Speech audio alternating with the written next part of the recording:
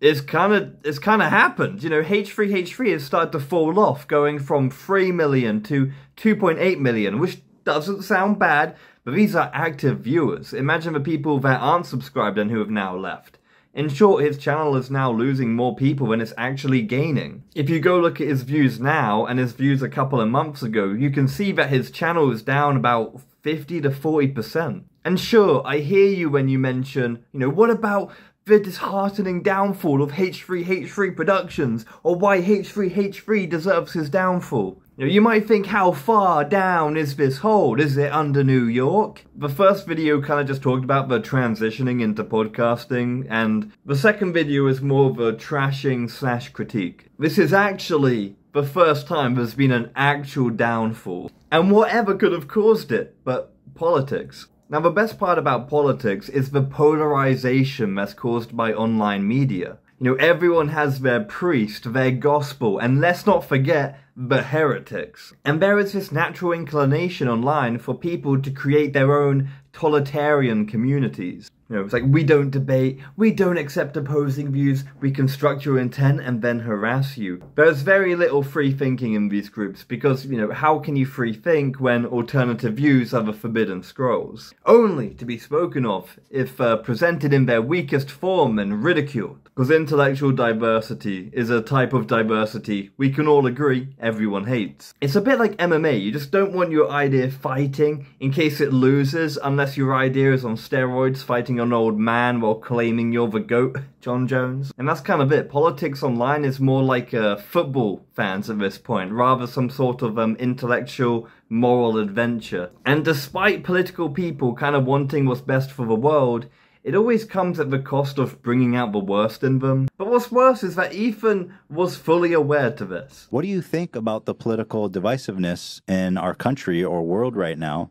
And what steps can we take to improve the discussion between, you know, members of the left and the right, impassioned members who you know, arguments between the two typically just devolve into reducing the other side to fools or even downright evil. Yeah, right. right. And now Ethan spends all day on his podcast calling Jordan Peterson evil. And we're going to be using Jordan Peterson because one, he's a great example, and two, he also warned Ethan. So it's got that like poeticness to it. Yeah, well, you surround yourself with people who think exactly the Echo same way you do. Yeah, circle yeah, jerk. Yeah, exactly. And and then any is that kind of a shrinking? Of... Oh yeah, it's a shr- oh it's a terrible shrinking. Oh yeah, well that's partly why ideologies get so out of hand, mm. is because you surround yourself with with self reflecting material you're not mm. traveling. Mm, you're not. You're not you're traveling not a bit. exposing yourself to no, any, no. There's and, no yin yang. And the circle gets tighter because right. you know one of your friends. So you've got rid of anyone who says anything you don't disagree, sure. don't agree with, and then one of your friends, you're a little weaker, and you're all a little more homogenous, and then one of your friends says something that's a little out of line. It's like, mm-hmm. hey, you're out of here, man. You're the heretic sure. or heretic, and then well, now you're down to five people around mm-hmm. you, and they're even more homogenous and smaller. And then it's four people, and yeah. it's like soon there's nothing left race of to you. the bottom. It's a race to the bottom. Now, to me, how you treat your I know enemies, adversaries, it kind of reveals a lot about someone. Like, think about it. When someone trashes their ex, an old friend, or talks behind someone's back, in the back of your head, you're kind of thinking, oh, that just becomes X, Y, Z, you, right? So let's look at how Ethan treats Jordan Peterson. So he started off by deleting the podcast, calling him a gateway to the alt-right, which his philosophy, his lectures often criticized, let alone the fact that they criticized it on the podcast. I'm sure we're not going to find Ethan later on crying about being painted in with other political parties he's actually not associated with and that he's criticized him. That's not going to happen, right? Like, who would call me out? Like, right heads? Like, what do you mean? Well, I'm not a right wing I'm a liberal, progressive, who basically had some criticism for some of the stuff you've been doing, but mostly agrees with everything you believe in. Not everybody that disagrees with you is a right wing head. And that's part of the issue that we're having here. This is once again, he's trying to put me in the bucket with right wing heads. Not only that, but I do get yelled at all the time. Who do you want? Like some weirdo Nazi? Like wh- who? Once again, implying that I want Nazis on the platform. But with these two topics, These you can actually debate or talk about. You can give yourself enough time to kind of build up your points before the podcast and then offered to Jordan Peterson and his audience will say an alternative view, alternative information, and you know, challenging his views will only ever improve your own knowledge on the subject. But no, he, he just burns the bridge and then continuously mocks him. You love men. An important role to play, You- a necessary role, and that if they I sometimes fantasize about putting a penis in my mouth. I can't lie because I love men. One of the top comments, if I can find it, is like, why does Ethan get mad when others make fun of him for being depressed and on antidepressants, but has no issue continuously making fun of another man clearly going through it? Which he has been doing for years, even controversially mocking him for getting addicted to benzos. Ethan making fun of Jordan's benzo addiction is a new low. yes, Making fun of mental health. Wow, Ethan. Do they have a point? Or is it all those antidepressants you shove down your fing throat? It, that one is Oh. tasteless. That one is is not good. That's not a good take.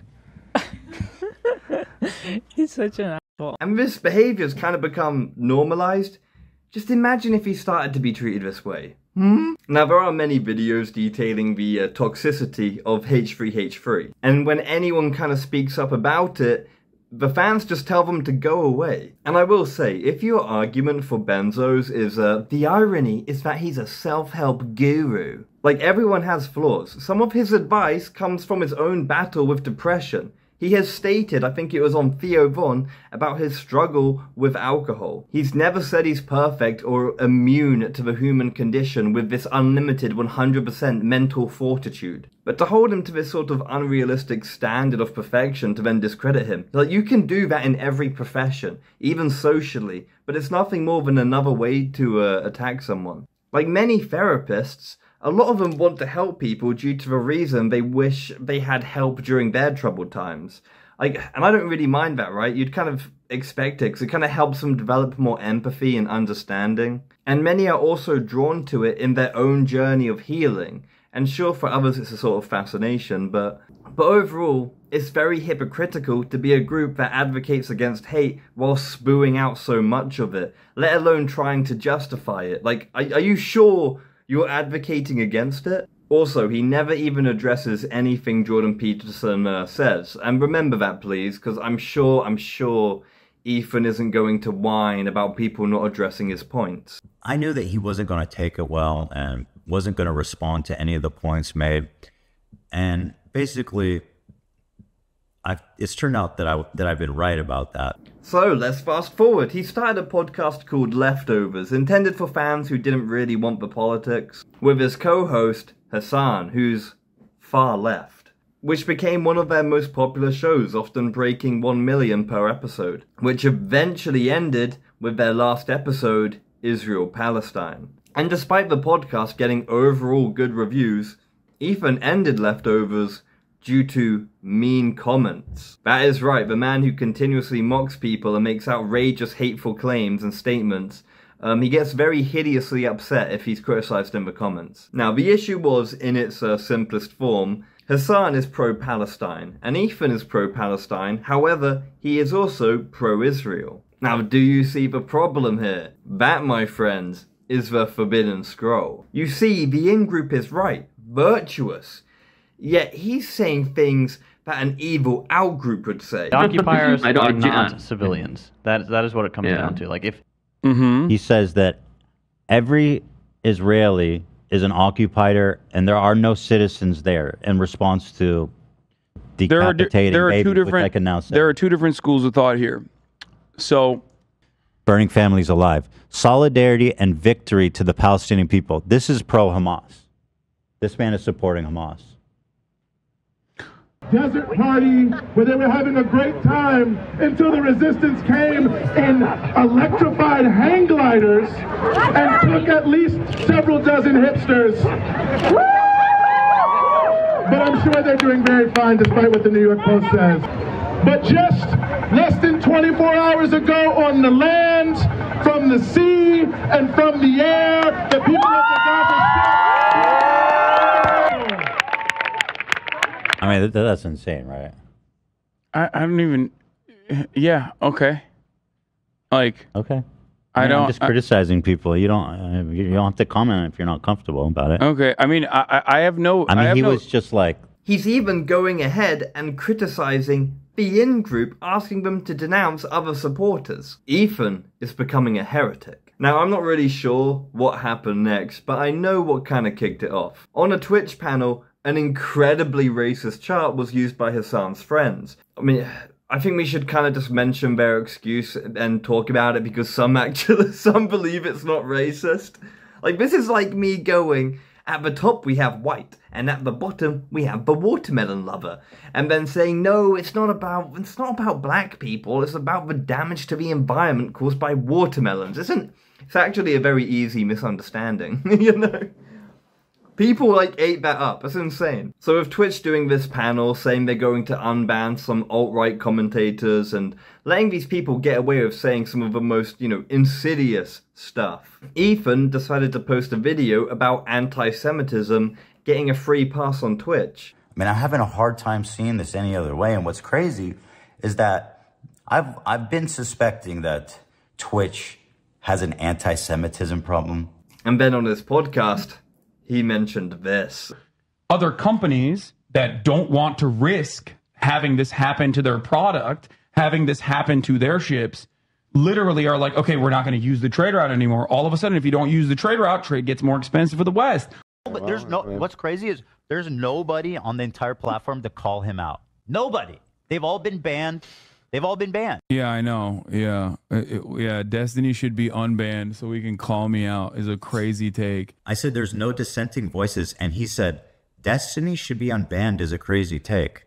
At what point did I say that? And that's right, Hassan starts to say Ethan wants this rise of right wing commentators, you know, directly supporting the heretics. Even though he's kind of asking for uh, a greater diversity of opinions so people can argue things out to stop each side going to the extreme and all this other stuff. No, no, no, no, no.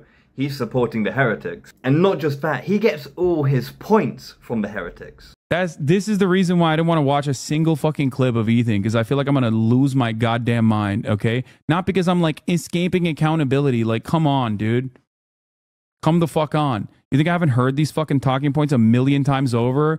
If Hassan could at least just respond to the point instead of saying, I'm Steven Crowder, I'm a right wing Nazi, I want to kick him out of the country, just talk about what I'm saying. Can we try that? Over. I know the fucking subreddit that you basically scraped these fucking bottom of the barrel talking points from. I know. I hear it all the time from his pathetic fucking fans that come in here and hit me with it every single fucking day. The real reason why I don't want to fucking watch these videos is because I don't want to like lean into the fucking mania that he is expressing every single damn day because I genuinely have no idea what he's talking about. Um, presumably, he's once again trying to tie me with Destiny, but I really don't even know. It's kind of awkward because Ethan, throughout his career, never really wanted a sort of diversity of opinions until a lot of the narratives kind of went against his own beliefs. So now he's like, actually, oopsie. For this one topic, we should have diversity of opinion. But you kind of see what's actually beginning to happen. Ethan is starting to get the same unfair treatment that his political adversaries received. And this also got many political commentary channels to start harassing Ethan. He either is a terrorist with many more videos. You also got the rise of H3 Snark, a subreddit dedicated to Hassan fans attacking Ethan. And anytime Ethan decides to call out these smaller channels or these other people, they say this. I just hate how Ethan is brigading smaller content creators like the deprogram because he couldn't get to you. It's fucking gross how he keeps picking smaller content creators that are just getting by and he is sitting on his golden throne is just straight up harassment. I know. He he's just So out of interest, why not go after Moist Critikal for the times he's gone after small channels? Like, I've called out people much larger than myself that they're allowed to respond. Because the thing is right now, with Ethan, anything he does, they're gonna go out their way to find the worst perspective possible and then paint on the worst intent. One to which they would never actually use on a regular person. One that would only ever be used on their enemies, right? It's not like a sort of objective view of the world. And, and thinking about it, where have we seen this before, Ethan? Is it in your behavior to others? Hmm. Now, after this, Ethan decided to call out Hassan for lying about him. Team star and shit in an effort to try and get me fucking banned is psychotic to me, you know? I just don't get it. I don't understand it. What a fucking liar, dude. What a Weasley little fucking liar. But the problem I have is that there's our subreddit and our community is over over ridden with these eight year long time ultra fans who can no longer you know tolerate us or they can no longer walk down this path with us as we've thrown our lot in with the nazis right but like these same people okay have they they hold no standards and hassan can go out there and glaze an international terrorist organization and its leader and, and, and glaze up Hassan Nasrallah like he's uh, a fucking great dude. And would you look at that? You know, people are taking him out of context, warping his ideas, not really even responding to him. Man, it's exactly how he treated his political adversaries. And can I also just say, these small channels are often promoted by Hassan. Like, any time a community of H3H3 turns on him, Hassan is watching that video for his entire audience, who has now merged with H3's audience. And he'll say things like, you can't blame them. It makes sense. I don't even recognize H3 anymore. And then he's just liking comments that say, I'm glad Hassan got custody of me in the divorce. I just find it kind of funny that whenever H3H3 wants to try and defend himself, it's just an excuse to attack him further. It's insane. And not many commentary channels are going to be covering it because one, a lot of people don't really want to even touch the Israel-Palestine political debate with a you know, a poll. It's it's a bit too heated and spicy. And two, you have someone like Ludwig who twice now has basically Ludwig will do a video. It will criticize Hassan ever so slightly, Hassan will then message and brigade Ludwig, who will then eventually take the video down, re-edit it, re-edit it, and re-upload it. But in short, H3H3 is kind of just getting this taste of his own medicine, and by alienating and attacking these other communities, he only really has his own community. And now that portions of his community have been radicalized by someone who is, say, far left, obviously similar to like the right and the far right, the left and the far left, very different political opinions and positions. The thing is, all of Ethan's opinions are now no longer left-wing enough to a good portion of his audience. So Ethan's response has been to take it purely back to entertainment, now keeping the political stuff on his Instagram and personal channel. Which is kind of going down well with the audience that is remaining who still enjoy the humour. The people who are left over are just, are just people who love the show. And it wouldn't surprise me with Ethan being sensitive about comments that he's now asking a member of his team to go ahead and delete the bad ones and you can kind of see that. If you go into the new comments, many comments that criticize Ethan get a lot of likes. However, they always seem to disappear before making it to the top comments. You even have a portion of his audience who want people like Dan to leave and make their own show. So the views have definitely been going down. His community is in a bit of a, a it's a bit of a mess. There's no other way of putting it. The question is, will his views keep going down? Because if you compare his channel to two months ago, it's kind of gone down by 40 to 50%. And don't get me wrong, even with that many people leaving, it is still a successful channel, but it's definitely fallen off from where it used to be. But either way, I hope Ethan kind of reflects on the whole situation and actually changes a couple of things, such as, you know, how he will then react with other people. Will he treat them a bit nicely now? Will he hold people or his audience to a whole, you know, a higher standard when it comes to criticizing people? I hope so. And as for his, say, damage control, they're kind of doing the best thing they possibly can, because the reality is, he's just going to probably wait for it to uh, die down a little bit, and then he's probably going to bring on other famous YouTubers to help promote the channel back up and get the numbers back up and kind of promote some growth. But we'll kind of have to see what happens. But do like and subscribe. I really want to hit 1,000 subscribers. And what do you think about the situation? As I imagine a range of people are going to be watching this.